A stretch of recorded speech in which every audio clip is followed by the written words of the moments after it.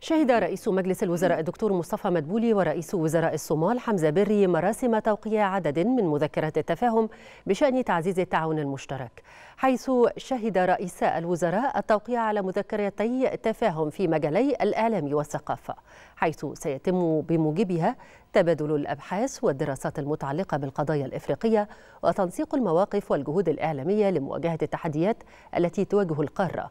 وكذلك تم تبادل إقامة معارض الفنون التشكيلية والحرف التقليدية. كما شهد رئيساء الوزراء التوقيع على مذكرة تفاهم في مجال التعليم العالي حيث سيتم تبادل الوفود في المجالات العلمية والتعليمية.